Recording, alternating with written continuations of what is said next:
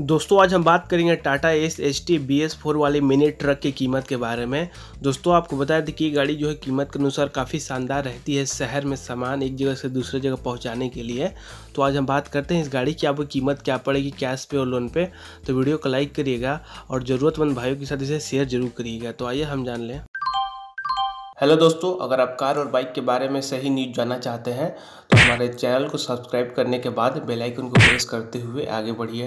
अगर आप लेते अभी के समय में Tata Ace S T B S four वाली मॉडल, इसकी आपको पड़ेगी एक सौ प्राइस जे एस आर में चार लाख एक हज़ार एक सौ छः रुपये इस गाड़ी की आपको पड़ जाएगी ऑन रोड कीमत पाँच लाख तीस हज़ार रुपये आपको बता दें कि ऑन रोड प्राइस में जुड़ी होती है आर टी अमाउंट के साथ road tax plus processing fee और भी अदर चार्जेस अगर आप लेते इस गाड़ी के लोन पे करते हैं आप एक लाख तीस हज़ार रुपये की डाउन पेमेंट दोस्तों आपको बता दें कि इसके लिए कम से कम आप पचहत्तर हज़ार रुपये तक की भी आप डाउन पेमेंट कर सकते हैं। लेकिन अगर आप करते हैं एक लाख हज़ार रुपये की डाउन पेमेंट तो आपको लोन अमाउंट करवाना पड़ेगा चार लाख रुपये का।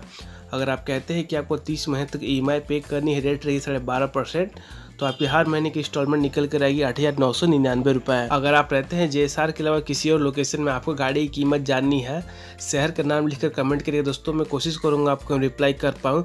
और साथ ही और मैं आपको बता दोस्तों, कि ऐसी जो कॉमर्शियल गाड़ियाँ होती हैं, इसकी आपको कीमत में बदलाव देखने को मिल सकती है। और साथ ही तौर मैं आपको बता दूँ, अगर इसकी दोस्तों थोड़ी सी ई ज़्यादा लग रही है तो आप यहाँ पर अपने टाइम को बढ़ा सकते हैं।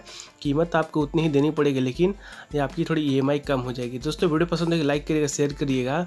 और चैनल को सब्सक्राइब ज़रूर करिएगा। ऐसे ही जानकारी वाले वीडियोस की गाड़ी की कीमत और इसके स्पेसिफिकेशन जानने के लिए। Thanks for watching stay tune with us